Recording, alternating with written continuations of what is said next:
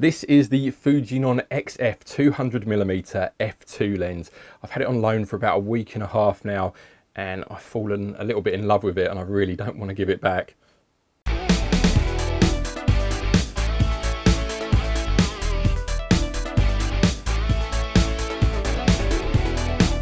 Okay, the Fujinon XF 200mm f2. So let's talk through the basics. We've got a 200mm focal length and obviously an f2 aperture. It's a big old bit of glass right on the end here. If I just take off this lens hood, I hope you can see that on the camera.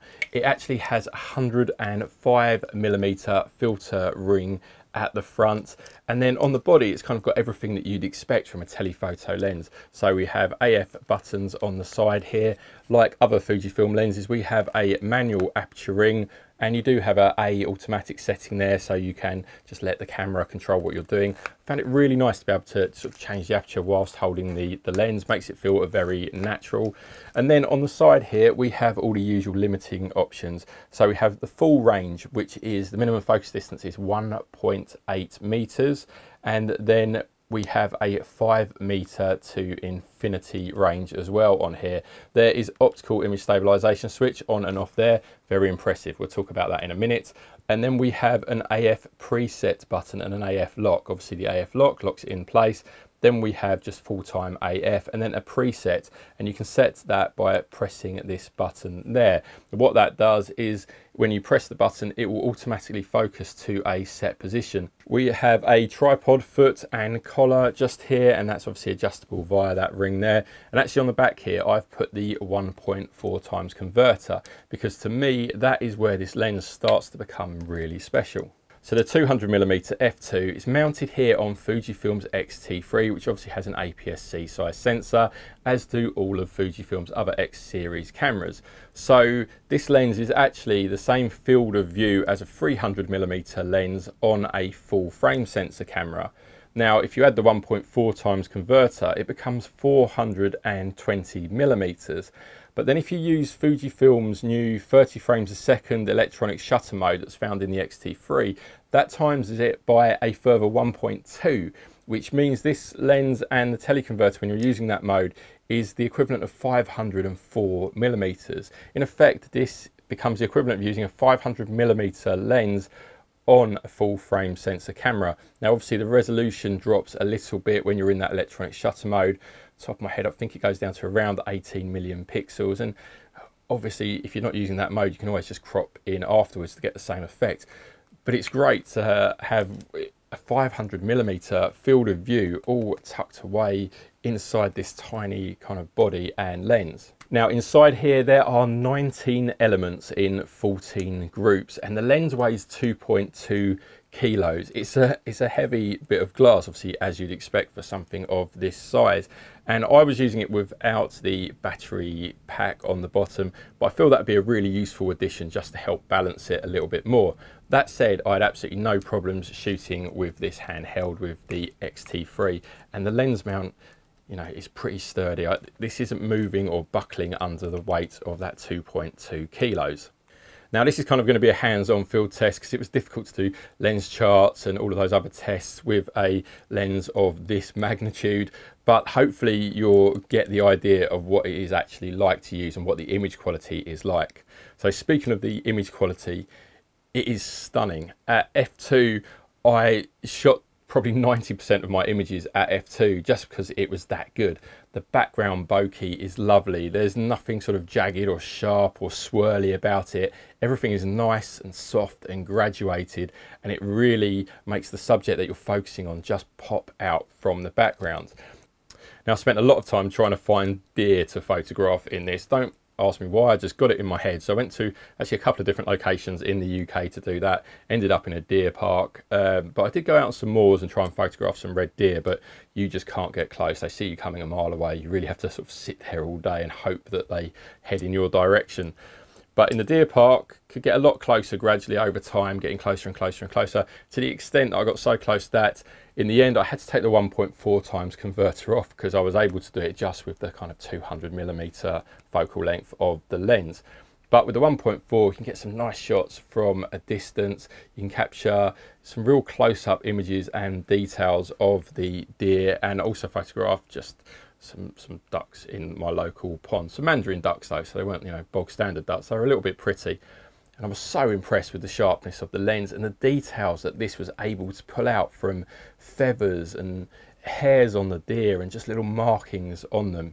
Very, very sharp, like kind of unbelievably sharp for an f2 lens. There's obviously a lot going on in terms of the lens design and engineering and Fuji been known for their optics. You know, they do television optics as well.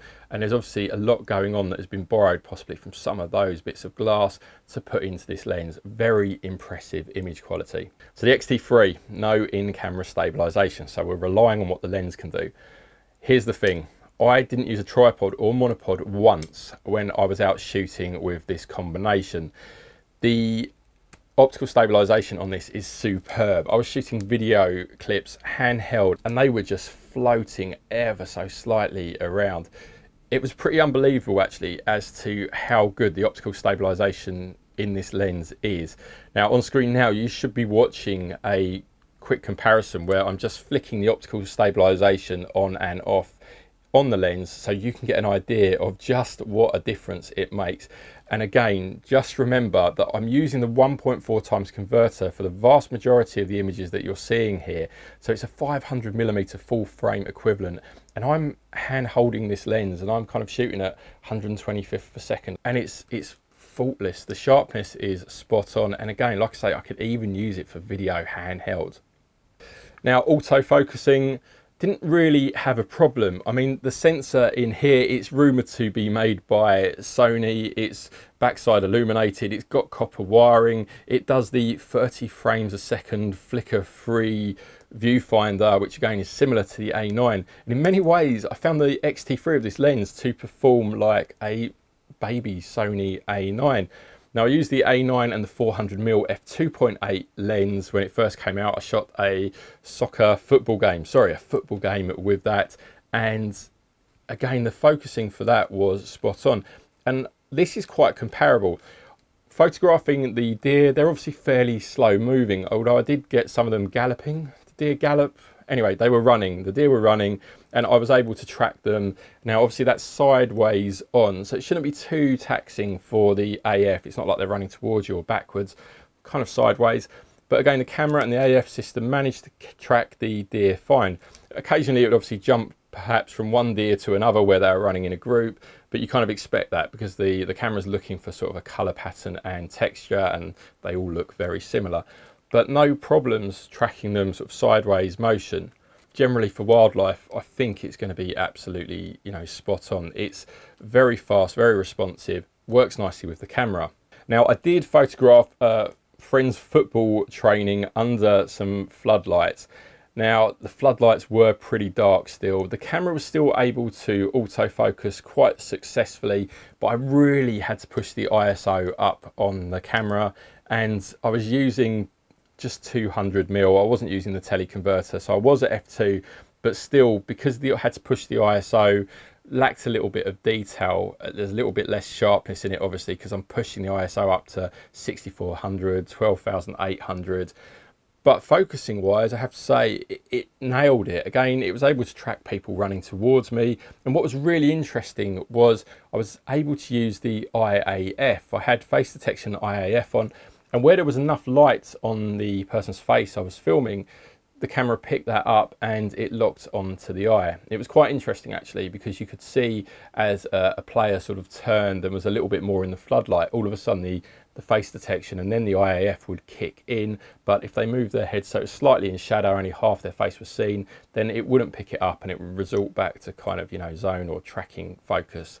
I generally use the wide tracking mode for the focus. And again, it worked quite well. It stayed locked onto the players quite reasonably. It's obviously very confusing photographing football because you've got players running in front of each other, running in front of the goal. There's a lot going on, a lot of movement, not just from the subjects you're photographing. But I'd be happy to photograph a full match with this camera and lens combination. Now, in terms of weather sealing, there are 17 different weather seals on here. Now, these are going to be behind all of the buttons and all of the joins in the lens. I didn't test it in the rain, but, uh, you know, I feel fairly confident at the, the price it is and with that amount of weather seals I would be able to take it out in a light downpour. Now, the lens itself is available now and it costs £5,400. So it's not cheap, but again, this lens is going to be for wildlife photographers, it's going to be for sports photographers, it's going to be people who earn a living shooting those kind of things. So for them, it's going to enable them to use their X-T3 X-T2 even cameras.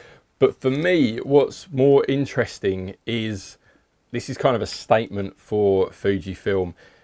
It's a big lens. It's something that people have always said you can't do with Fujifilm cameras. You can't photograph moving subjects. You can't photograph sports and things like that. You know, it's difficult but the X-T3 sort of seems to have the AF to be able to do it. In my opinion, it's not quite as good as the Sony A9 and 400mm combination, but I'll tell you what, it's not far off it. And remember, this is the first time Fuji have used this sensor. I'm sure there are going to be more AF tweaks and firmware updates, which we know Fujifilm are really good at. So it's exciting to see another brand possibly getting in on that sports and wildlife market with this lens. And you know, I can't wait to see what other telephoto lenses Fujifilm are going to be bringing out, hopefully in the not too distant future, the lenses that will really complement this. But as I say, in summary, the 200mm f2 Fujinon lens, I really enjoy using it. I shot nearly everything at f2 wide open. That's how sharp and confident I was in the image quality with it. It pairs really nicely with the X-T3. I would recommend the battery grip if you are thinking of getting it, but if you're shooting sports wildlife, you're going to want that grip on the bottom. You've probably already got one anyway quality wise build and handling just you know it's a nice lens. It feels like any other telephoto lens from any other major camera manufacturer really. Very impressed with the teleconverter.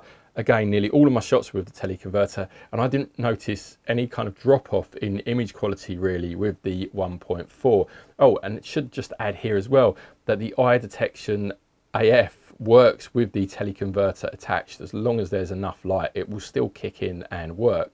Again something to consider if you're photographing sports something like tennis where you've got a player kind of roughly standing on the same spot it's going to be able to pick up that eye AF quite nicely if you haven't watched Photogear News, we put up videos like this around about once a week. First look videos, reviews, occasionally technique videos. So if you want to keep up to date with all the latest Photogear news and reviews, please just take a second to hit that subscribe button so that you can catch our next video.